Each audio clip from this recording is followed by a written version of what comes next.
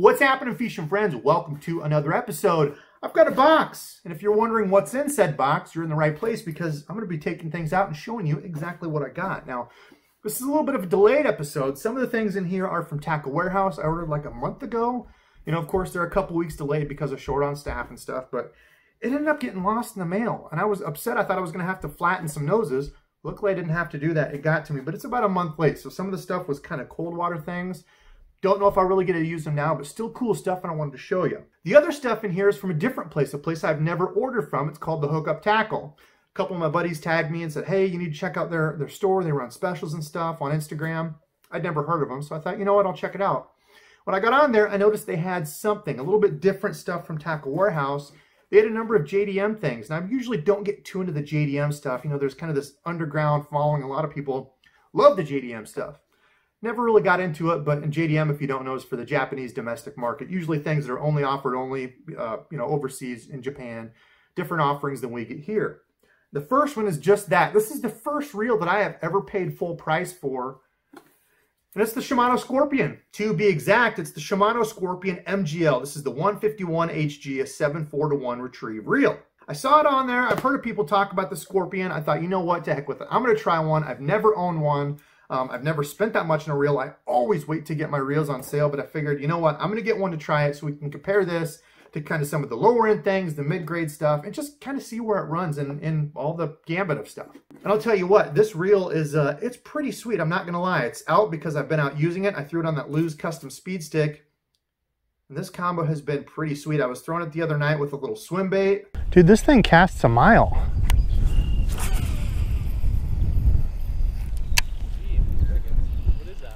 That scorpion?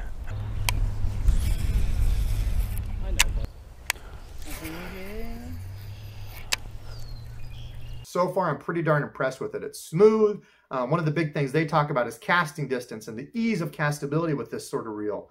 So far, I am seeing just that. I also just saw that. I didn't even notice that on the spool tension knob. They got the the whole scorpion emblem thing going on there. That's kind of cool. So I'll keep throwing this. We'll keep doing some testing on it and see, you know, is it worth spending more on a reel like this?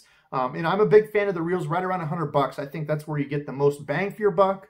Uh, but I'm using some of the other things a little bit up from there, and maybe I'll try to find some stuff, you know, closer to that $50, $60 range for folks. So just trying out a few different things. I thought this was neat. I've never owned a JDM reel, so that's the first one, the Shimano Scorpion MGL. All right, let's start out with some crankbaits, some 6th Sense stuff. These were some flat-sided crankbaits I wanted to get for the cold water. You know, around here, good old Iowa, the spring seems to last forever, and we keep still getting cold fronts that keep moving in, but a flat-sided crankbait is great in cold water, a little bit tighter wobble. These have kind of a little bit of a roll to them, I guess you'd say. Um, you know, instead of the real wild, crazy action of a square bill, you know, usually as the water warms up, that's what the fish wants. So this is closer to that lipless, you know, a little bit tighter wobble, a little bit different look to it. But um, I don't really have many of these. I've got some of the other stuff that's in here, a couple, but these are a little bit bigger. I like the colors on them. That's the one they call Jaint Juice. You know, it's a, it's a Jaint, giant.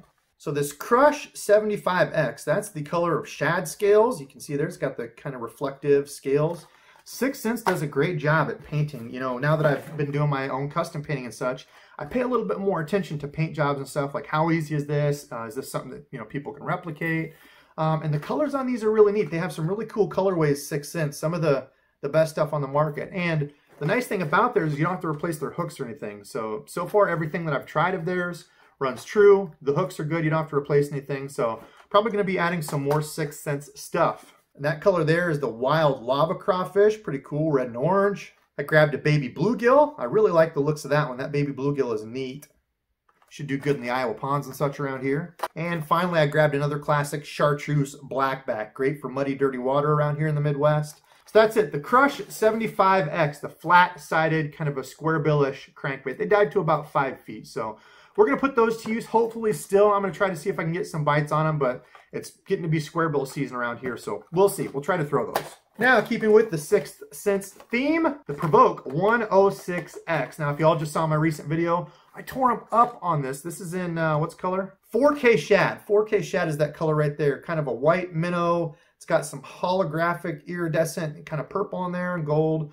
Super cool color overall. It killed it in uh, a little lake here that I fish a lot. I really liked it. It suspends well. Again, the, the, the terminal tackle on it, the hooks, you don't have to change anything. That's kind of one of my frustrations, especially on a suspending jerk bait. Because when you switch hooks out, they might have it tuned to those hooks, but if they're kind of grummy stock hooks and you change them out, if you go too high or too low in weight, it's either going to float or it's going to sink. So I like that, that they do have those um, all ready to go. You don't have to change anything and it's suspended well. So um, I've got a couple other of these colors around here. I don't know what I did with them, but the 6th Sense Provoke, I really like that jerk bait. Now let's just stick with that jerk bait thing. Ima, I got some of these from the Hookup Tackle. Ima, I don't really ever use any of their stuff. I've never tried anything, so I ordered a couple things. This is the Flit. They come in a couple different sizes. That's the larger size there. What is it, 120? Yeah, the 120 size, and there's like a 90 something. What is it? Yeah, the smaller 100 is 3 eighths of an ounce. The larger 120 is half an ounce. So four and a half inches half ounce. Smaller 100, 3.9 inches, 3 eighths of an ounce. So you can see there, I got the smaller size there. That's in like a ghost, what do they call it? Ghost minnow is what they call it. Kind of that see-through transparent, good for those clean water days. Not a lot of overcast, sunshine, clean, clear water. Something transparent like that usually does really well. Now, when that cloud cover comes out in the daytime, I like to go to a little bit more solid color. That's called the bone shad. So you can see white there. It's got a little bit of orange on the belly, but a really cool color. I got a couple of different ones of these. Some I already have in my tackle box, um, but the a Flit, I really like those.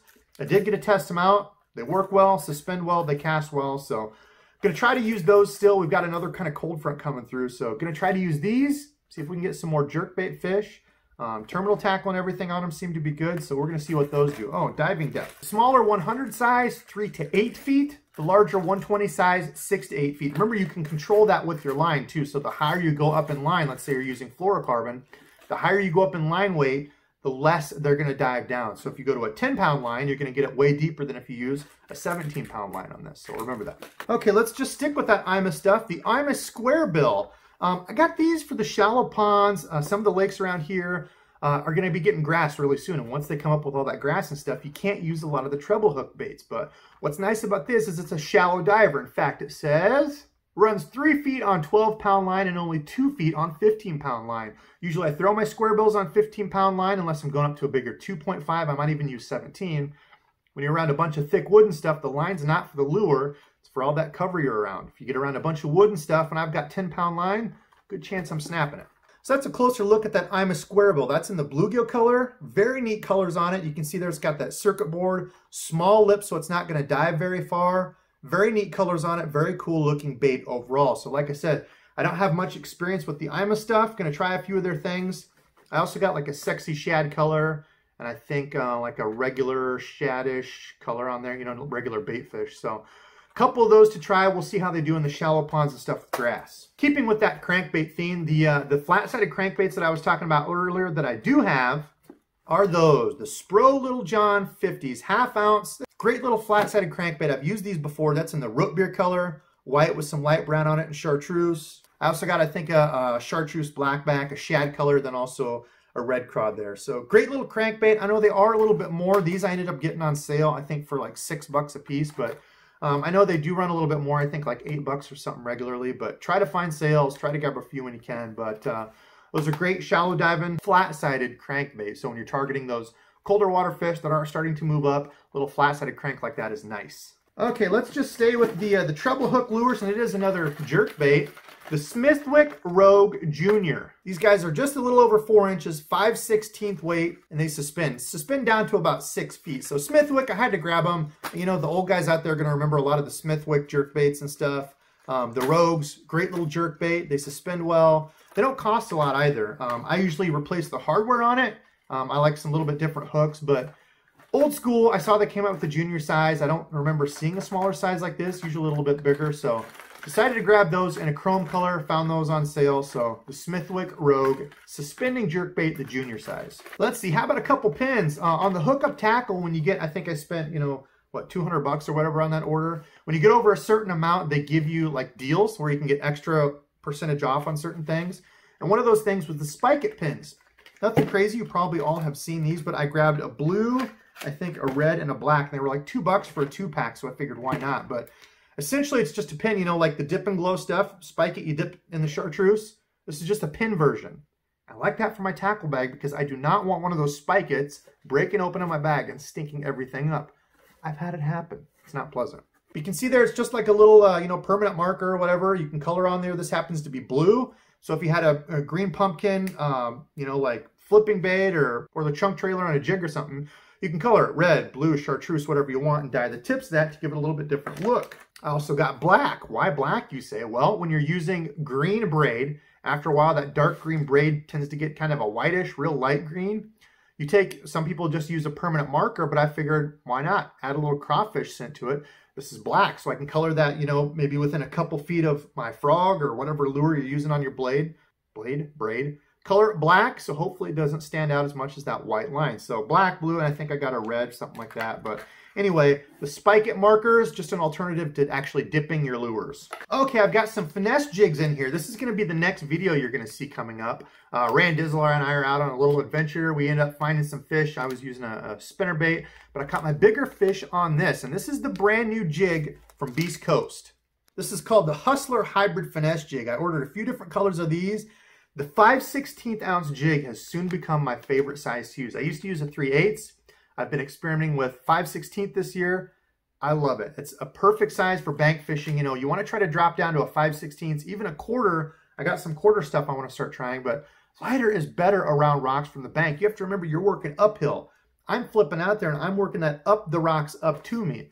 It's not like fishing from a boat where I throw up there shallow and I'm bouncing it down the rocks out to me. You get hung up so much more when you're fishing from the bank with a heavier jig. So these guys, I really liked them. I caught a couple really good fish on that trip. That's what the little dudes look like up close. Beautiful colors. They have those uh, strands in there, kind of like that flashabou or whatever they call it. Got a very uh, reflective kind of look to it, but it's also got the hair on it. It's like a mix between a regular finesse jig and a hair jig. And I tell you what, all that those little hairs in the water, it looks like little tentacles, antenna, you know, just the water's moving and that hair is just very cool. I've not seen a hybrid jig like this, you know, finesse jig mixed with hair. Maybe companies have done it before, but man, absolutely love those. Ordered a few different colors of them, and I am a huge fan. In fact, in that video you're going to see coming up, this was the color I was using, and I love this around here. We've got a lot of the blue craws here in Iowa, and this mimics that. Looks awesome. This color here is called Elite Craw. That's the trailer I was using. Again, those Reaction Innovations Smallie Beavers in the red, what do they call it? Magic Craw Red. That's what that finesse jig looks like. So that whole thing together, you've got hair on it. You've got flashabou giving a little bit of a flash. You got the blue. I tell you what, this thing looked amazing. Huge fan of it. Caught my two biggest fish of the day on that little rig right there. Just a little finesse jig. Super cool rig. So got those. That first colored craw that I show you, that orange and kind of greenish, that's called their Elite Craw. This color is called Dirtbag for when those craws get a little bit darker. Look at that black and brown. Great color in you know dirty water just to make a good outline for them. Like that color a lot. And the final color there, Pro Pumpkin. You can see there, pretty natural color, pretty light, green pumpkin, and that brown hair jig look under it. Man, super cool. And if you've ever talked to the guys over at Beast Coast, if you've met them at a show or whatever, had a few guys that have talked to them and said they're just stand-up super nice guys. I've had a chance to talk to them a couple times good dudes, you know, trying to do different stuff. I'm a huge fan of their products. So that's a little Hustler hybrid finesse jig. I'm definitely going to be using those some more. And I just noticed that's got like a, a purplish tint to it. That's pretty sweet, but going to be throwing those more. I really like them. Okay, staying with that jig look. This is also from uh, the Hookup Tackle, the Carver jig. This is from ISM. Now, this is, again, uh, something we don't usually see here. It's one of those products they brought over. Now, what's neat about this guy is, take a look at that head there. Turned up head, good looking swim jig profile to it, but check out that hook. See how that moves there? Interesting, huh? Flip that baby over and it's got a screw keeper there. Now, I know there's a, a brand that people get off Karl's or whatever. I forget what it's called. Um, I know some people have used it and said they really like it. I forget what it is. If you know, comment down below. But um, something similar to this where it's got the hook here, it's got the keeper here. And this isn't anything new. I've got jigs in my tackle box from when I was a kid that had this exact thing. And I tend to use those more when I was younger so I didn't get hung up. It was like a Texas rig mixed with a jig. So I could throw it in the, the heavy wood. I wasn't worried about getting hung up with my jig because it had this type of keeper here for my trailer. So I've used these before. These are a little bit more expensive. It was like eight something for one of them. I still wanted to try it, give you guys uh, my thoughts on it. I thought it was just something neat, something different to try, but kind of that cool pivoting head design. It's got the hook attached, but you can screw that trailer on and keep that completely weedless. So We'll see how that does, that Carver swim jig from uh, ISM. All right, I got one top water in here. Uh, I've only got one buzz bait that I use with the trailer on it. Um, this one I saw, I figured, you know, why not? Let's get one. It's the uh, the Boss brand. It's the same brand that I got that did those jigs when I made my own uh, chatterbaits, those Boss dock knockers. I really like the Boss stuff. They've got some nice products. So I got a little amphibian, what do they call it? Amphibian buzzbait. So you can see this guy close up. This is a buzzbait especially made for running a trailer on it. So whether you're running like, you know, a, a horny toad type thing or a, a top toad deal, you could throw a swim bait on here, whatever it is. It's got that screw keeper right there. So you screw that soft plastic on, it's going to stay on there better. I know a lot of just the regular buzz baits don't really have a keeper, so you can't just take the, you know, the skirt off and put some sort of soft plastic on there. Need something to keep it. So this, you can screw it on there. It doesn't matter if you're casting it hard It's going to keep that soft plastic on for you. So pretty standard buzz bait, nothing uh, insane about it, but I tell you what, that screw keeper helps a ton. And if you notice the size of that screw keeper, it's not real small and tiny. There you go. You can see the two compared side by side there, a much larger keeper compared to that smaller one on that swim jig. So we'll see how both of those do, but that, uh, that Boss Amphibian Buzz Bait made especially for your soft plastics, I like that. Speaking of soft plastics, let's switch over to a swim bait. This is something a lot of people have asked me to try the Megabass Mag Draft. Never tried one out. I'm trying. I figured this might be a little bit better luck for me. I've been trying the big 8-inch glide baits and stuff. Still no luck. I am a crappy glide bait fisherman, but we're going to keep trying it. This is only a 6-inch. Uh, it's 1 and a fourth ounces, so you won't need a big, huge swim bait rod to throw something like this. A regular, you know, heavy type rod would throw something like this with no issue. So now the hookup tackle didn't have much of these left on their site. This is a 6-inch. They said these go pretty quick, but uh, what is this? White back shad is what they call it. That's the color of that one there. Megabass Mag Draft 6 inch white back shad. So we'll see how that baby does. Maybe I can uh, catch a fish on it. Sticking with those soft plastic swim baits, a Huddleston. I'll take this guys out for you. There we go. Colors on it look awesome. Very bluegillish looking. See, it's got that wedge club tail reminiscent of the Huddleston swim baits. Very unique tail, very cool look to it. What's neat about it is what do you notice? No hook on it, right? Well, not until you do that. So that hook is completely hidden up inside there, a weedless hook design. I like that. Tie that baby up. I'm not going to have to worry about that getting hooked on wood, you know, thick grass, pads and stuff while I'm fishing from the bank. It's also soft plastic. Bass are starting to spawn here in Iowa, so you know what's going to happen after that. Bass spawn, then the bluegill spawn, and the bass get their revenge on these guys for pestering them while they were spawning. It's only like a little four inch bait, so pretty small, pretty compact. I'm interested to see how that's going to do. Hopefully after the bass spawn, we can catch some fish on that baby. Sticking with that same bluegill theme, I saw these. These are new from Savage Gear. I wanted to try one as well. This is a Savage Gear Pulse Tail Bluegill. Four inch again, little small four inch bluegill. Colors on this thing look amazing. Absolutely great looking colors on it. You can see there, that dude looks awesome. Now it's a little bit harder plastic. You can see it's kind of got that same similar club shaped tail as the Huddleston. This does come pre-rigged and you can see it is weedless as well. So the hook for this one is hidden up here by the fin. Now, the nice thing about it is once you actually rig it like that, it is good and weedless. You know, I'm pushing out at a decent pace. That hook is down under. So it's not like some of the things I've seen where they put a hook up here and it's not really weedless at all. This does seem to be good and weedless. Now, the only thing I question is the hook. For this not being a very big bait, look at that hook. I mean, it's like a gargantuan shark hook on here. This must be a four and a half or five inch. Look at these two next to each other. This bottom one, the Savage Gear, is four inches compared to that Huddleston, a little bit bigger. So it must be like a four and a half inch, almost five inch on that Huddleston. Colors on them look great. Really excited to throw these. Um, I think something like this, you know, even when the bass are spawning, trying to put those guys on their beds, let's see what it does. Let's see what it does after the spawn. Are they really going to key in on those bluegill like, you know, we say they do? Let's see a couple soft plastic bluegills. Okay, last up in the box, some line. I wanted to get some new line for my spinning reels. I've got some older stuff out there, but I wanted to try some new things. So First is the Spiderwire Ultracast. This is an eight carrier braid, supposed to have good abrasion resistance, supposed to have good castability. I like the, you know, eight carrier braids a little bit better on my finesse stuff.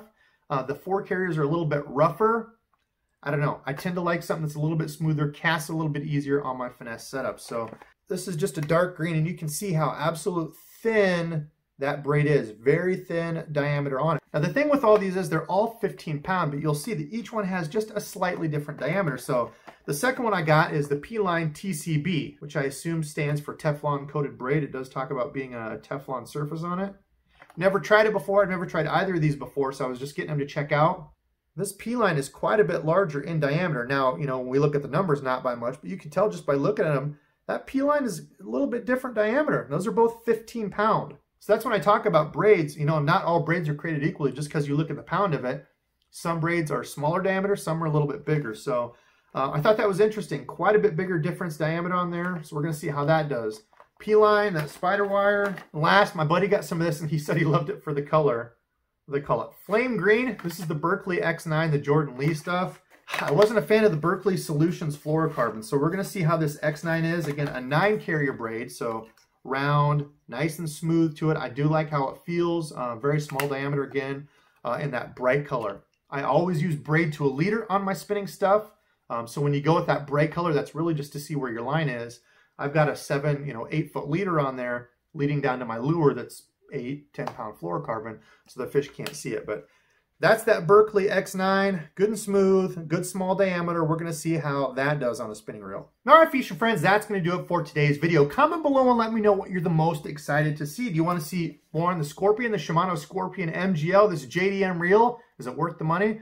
I will be telling you that. We're going to do a full review in depth on this very soon. Maybe you're more excited to see me use some more of these swim baits, the bigger glide baits and such. Let me know. I'm still putting in work with that. I'm not the best with those, but these, I think we can definitely catch some Iowa fish with these. Maybe you want to know more about some braided lines. If there's a specific braided line you want me to pick up, let me know. I'm excited to test some of this. That's going to do it for tonight's vid. Tonight's subscribe fishing friend shout out goes to Austin Millard. Austin, thank you very much for watching. And thank you everybody else that continues to watch and support. Like I said, it means a ton to me. Um, channel's doing far better than I ever thought it could. So, and that's only because the support of all of you. But that's it. I'm uh, going to go edit this up, get all this stuff put away. But thank you all very much for watching. And until next time.